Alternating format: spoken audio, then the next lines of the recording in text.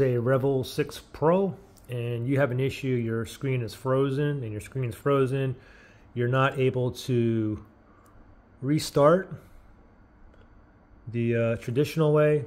Maybe this pop, this won't pop on or you tap restart, power if it doesn't do anything. If that's the case, then you can just force a restart, okay? So let's pretend my phone is frozen, okay? I can't swipe or nothing. Power button here, you want to press and hold it down and do not let go until the logo appears on the phone. Okay, so we'll do it together. Power button right here. Ready, set, go. Press and hold. Keep on holding. Still holding here. Still holding. Still holding. Oh, I felt it vibrate. Now it's turning on. Now it's turning on. Go ahead and let go and let it go ahead and boot up and hopefully it's no longer frozen. If it's frozen, do the same thing again. Good luck.